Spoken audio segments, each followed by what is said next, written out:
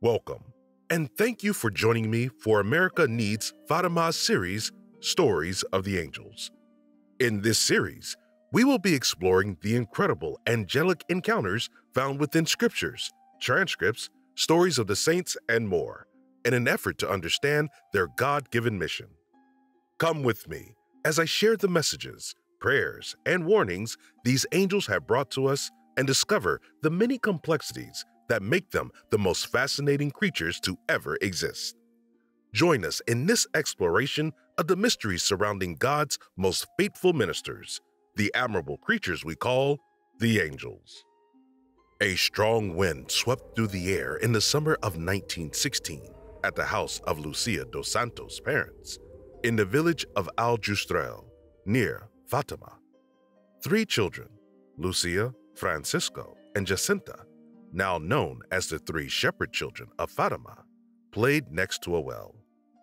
Earlier that year, the children had felt a similar strong wind in the spring or summer and looked up to see what was happening. Before their very eyes was the shape of a transparent young man who was more brilliant than crystal, and they saw he was a young man of great beauty as he approached. This man, they discovered, was the Angel of Portugal, or the Angel of Peace, who had appeared to them in human form. Now, the angel was appearing to them a second time. What are you doing? he exclaimed. Pray, pray a great deal. The sacred hearts of Jesus and Mary have merciful designs concerning you. Offer prayers and sacrifices constantly to the Most High. I'm sure we have all had our reasons for being scolded and have experienced it from my parents more often than not while growing up. But I don't think I could ever fully recover from an angel scolding me. It is undoubtedly a scolding I would receive very seriously and take special care to heed. But the scene we stumble upon here, with the children playing near the well, is a perfect example of why three children were tasked with the incredible responsibility of the Fatima apparitions.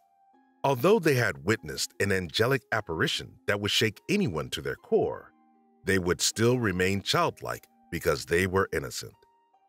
Children enjoy an innocent and carefree disposition that will be worth its weight in gold in those coming years, as opposed to a bitter or war hardened heart of an experienced adult.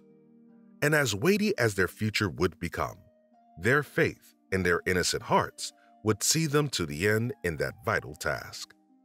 But as we will soon learn, the three shepherds were perhaps a bit too carefree in the face of such a monumental event. This leads us to the three primary purposes for the angel's second apparition. The first was to prepare the children for the apparitions of Our Lady of Fatima. Secondly, to act as the messenger of Our Lady. And lastly, to reprimand the children for not taking the situation as seriously as they ought. And so, Lucia asked the angel, How must we sacrifice? He told her, Offer God a sacrifice of anything you can as an act of reparation for the sins with which he is offended and as a supplication for the conversion of sinners. Draw peace upon your country by doing this. I am its guardian angel the angel of Portugal. Above all, accept and endure with submission whatever suffering the Lord sends you. Then, as mysterious as he arrived, he disappeared.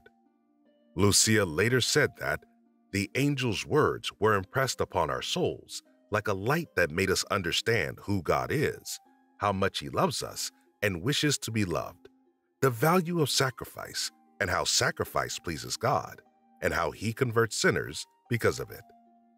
And so they were left once again to await the next apparition. This time, however, they had a task to complete and a message to share.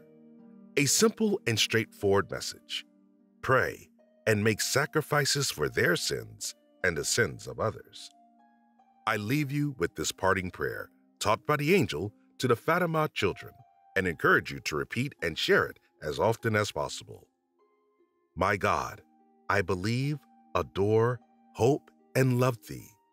I beg Thee forgiveness for those who do not believe, do not adore, do not hope, and do not love thee. Thank you for joining me. I hope you enjoyed today's episode and return for the next one when the angel brings the body and blood of Jesus Christ to the children during the last angelic apparition of Fatima. Until next time, may God bless you and Our Lady keep you under her mantle.